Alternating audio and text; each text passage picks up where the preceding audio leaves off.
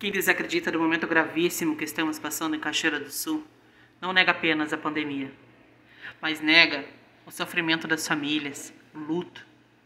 Nega o sofrimento dos pacientes que estão na luta diariamente para poder sobreviver. Nega o cansaço dos profissionais de saúde. A pandemia também é um desafio de cuidar de quem cuida. Então peço por favor, tenha respeito, compaixão. Se cuide, fique em casa.